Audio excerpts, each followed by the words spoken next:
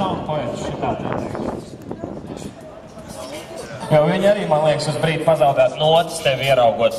Ļoti ska- skaisti Paula apsveicam, eh, apsveicam Rekā. Forši ņem vērā un uh, turpinat, eh, turpinat daudzīties pa veikalu. Paldies tev, Dacīt.